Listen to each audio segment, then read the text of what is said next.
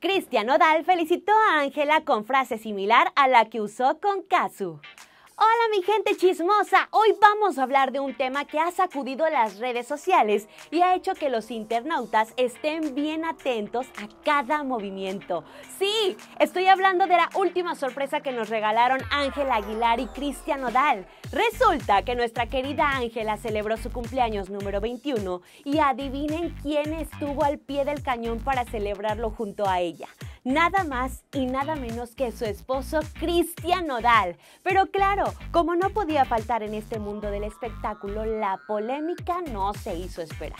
Nodal, el cantante del famoso éxito Adiós amor, le dedicó una historia en Instagram a Ángela que ha dado mucho de qué hablar y no se imaginan por qué. Resulta que esa dedicatoria levantó más de una secta ¿Quieren saber por qué? Pues agárrense porque hay drama y del bueno. En esta historia de Instagram se podía ver a Ángela y Nodal brindando con unas copas y al mismísimo Cristian sosteniendo una botella que parecía ser vino. Y Ángela, bien guapísima como siempre, con su sombrero norteño que la distingue y todo esto estaba acompañado por un espectáculo de fuegos artificiales y un círculo hermoso hecho con rosas. Todo muy romántico, ¿verdad? Pero aquí viene el detalle que hizo estallar las redes.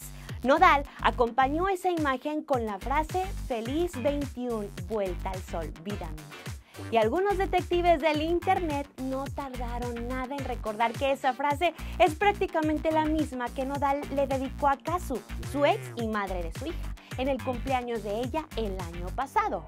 Sí, como lo oyen. En diciembre del 2023, cuando felicitó a Kazu, Nodal usó la frase Feliz vuelta al sol, mi vida.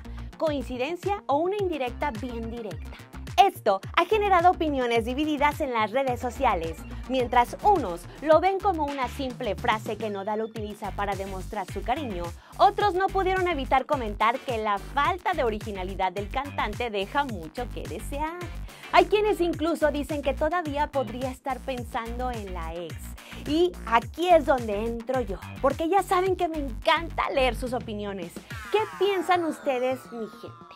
¿Creen que Nodal está jugando con fuego o simplemente su forma de ser romántico? ¿Será que Ángela no se dio cuenta o que no le importa lo que se diga?